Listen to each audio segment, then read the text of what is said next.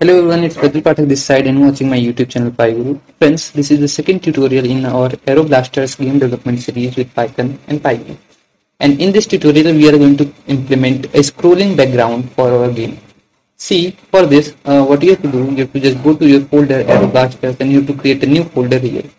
Uh, the folder name will be assets and inside this you have to keep all your images. Okay, so just check out the video description of this uh, video sorry the uh, description of this video and you will find a link for my github page. You just download the entire uh, uh, there will be a download link and you have to just click it and it will download all the assets for you.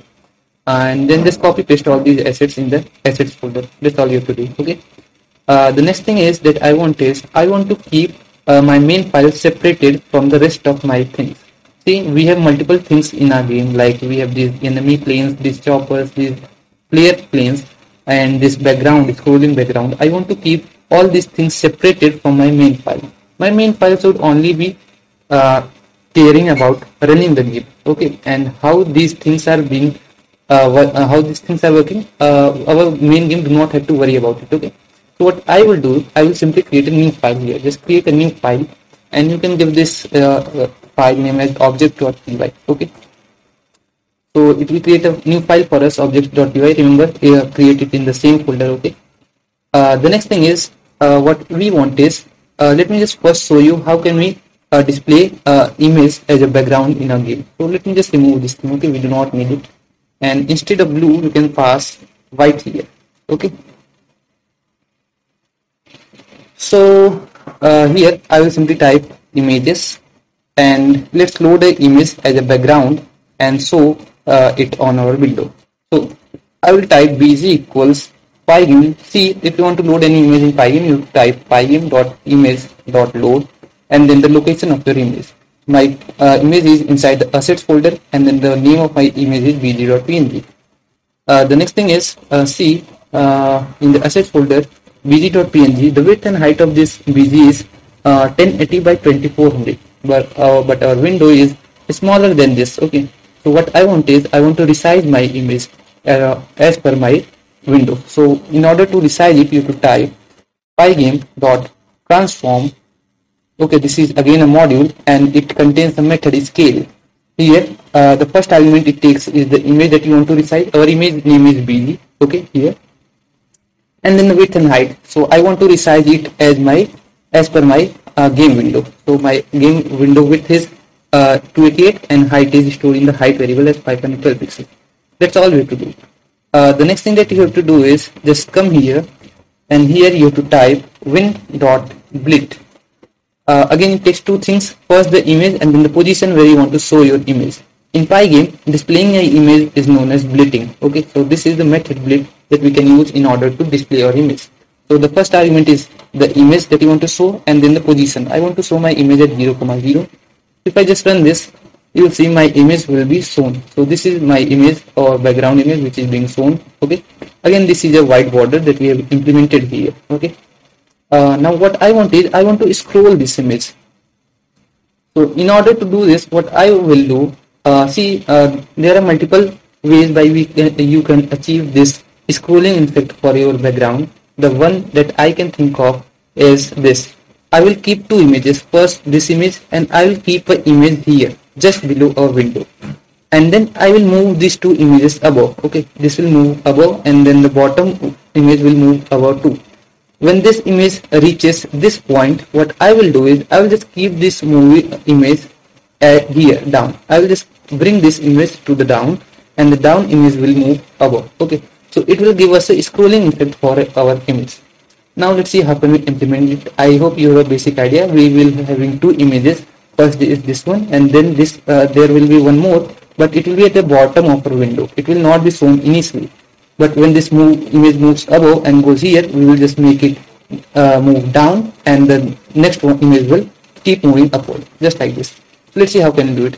For coding this i'll just write it inside this file uh, object.py okay? So import pygame uh, the next thing that we want is uh, we want this line screen equals width comma height because we need these variables okay uh, the next thing is I'm just going to uh, put this inside a class I'll type class background. Okay, now uh, here you can pass empty parenthesis. Okay, and here we will type def init in any class. The first thing that is there is is this function or this is known as constructor function and in python it is defined as init underscore underscore init underscore underscore okay? The first argument it takes is a self value. Remember whenever you create a uh, class just pass the first argument as self. Uh, my window uh, this background class will take one more thing that is window. This window will be th the thing where we want to show our image. Uh, this will be simply this win variable okay and nothing else. We will make a copy of it self dot win equals win now the next thing that we want to do is we need to cut this thing from here and paste it here. Okay that's all. And instead of bg i will simply type here as self dot image okay i want to change my image name self dot image that's all we have to do. Now in python uh, of every image you can extract a rectangle. Uh, what is a rectangle? Basically uh, rectangle is simply a rectangle around our image and if you want to move your image you can just simply move that rectangle and image will be automatically moved. In order to get the rectangle of our image we have to first type self.text this is our rectangle name. You can give this any name okay? And then you have to type self.image dot get rect okay? You have to just type this thing. And it will uh, give us the rectangle of our image and now if you want to move your image you can just add something to the x and y position of this rectangle and our image will move automatically. Uh, we'll make a, a variable here self.move equals to it means our image is moving. And here I will do one more thing. I will create another function def reset. Okay and again this method will take the self argument. Uh, okay.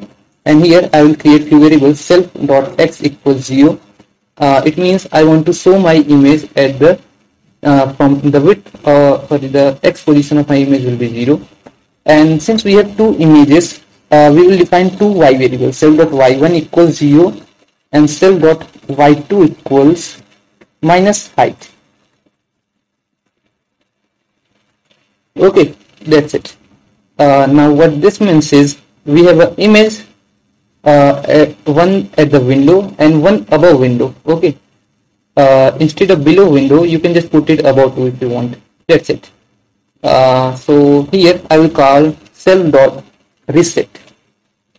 Now if you do not if you are not able to understand it don't worry. Uh, I will explain uh, it in a minute when we will move it okay? Here we will create one more function that is the update. Again it will take a self self argument and it will take a speed variable. This speed variable will be integer value and it will uh, be responsible for the speed of our background image movement. Uh, here I will type if self dot move it means if the self dot move variable is true. Why we need this? Because we do not want to move our background every time. We want to move it only when the game is running and let's say we are at the menu position and this uh, we are displaying the background we do not want to move it okay so that's why we are uh, we have typed here if self dot move equals to if you want you can simply type equals to but this statement also means if self dot move is equal to true okay? What uh, we will do is we will add this speed variable to the y1 position of our image and the y2 position of our image 2 okay? That's all we are doing it. Uh, see there are two images. The first image y coordinate is this self dot y1 variable and the second image coordinate y2 uh, is y2 variable. Okay we are doing this. Now here we will type if self dot y1 is greater than equal to height okay what we will do is self dot y1 equals minus height okay uh, wait a second.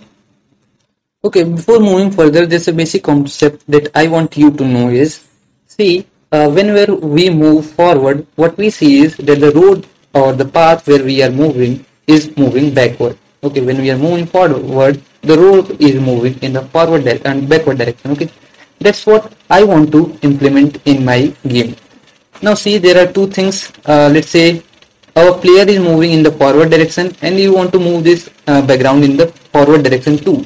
But that will not look cool. Instead, what I want is our player is moving forward and the background is moving toward the downside. So what I will be doing is, I will keep an image in the uh, window and I will keep an image at the above window, okay? Instead of bottom of the window, I will keep an uh, image above the window, okay? And then this image will start moving downward since we are adding the speed variable to the y1 position of our image.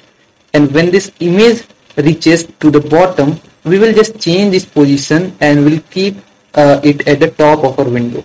And the next image will keep moving uh, downward.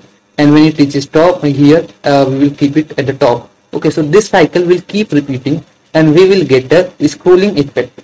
So that's what we are writing here. If self.y1 is greater than height currently self.y1 is 0 and since some speed is being added to it when it reaches this position we will simply keep it at the top of our window. That's it. Okay and we have to do the same thing for our y2 position too. Uh, so that's it that we have to do in order to make the scrolling effect after doing this all you have to do is you have to display our image. Now see to display the image we have written this uh, a line here. So let's just cut it and paste it here. Okay uh, though we have to change few things here let me copy it and paste it here. Here we have to first type the self okay since we have made the copy as self.win uh, self.win.blit okay it's looking fine. Uh, the next thing that uh, we want to do is uh, the change the image name. It will be self.image so self.image and then the position.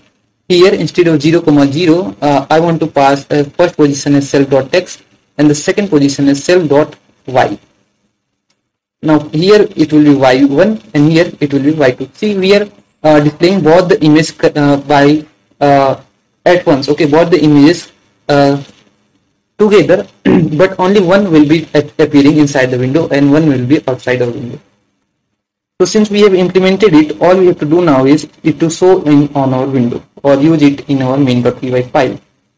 Again see i have put all this code inside a class so that our code can be reusable. You can use this code whenever you are creating a new game and you want a vertical scrolling background effect okay?